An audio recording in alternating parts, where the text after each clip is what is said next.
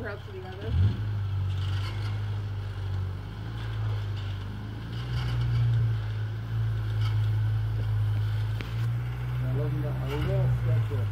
Yeah, I know.